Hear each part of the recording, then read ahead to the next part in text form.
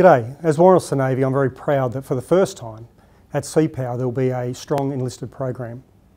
I encourage all leaders and managers to release as many of your sailors as you can and for as many sailors as possible to make the time to visit Sea Power as this will be a great opportunity for you to be involved in the discussion around what is our future Navy and what role you will play in that. Get online, register, and if you see me down there, say good day.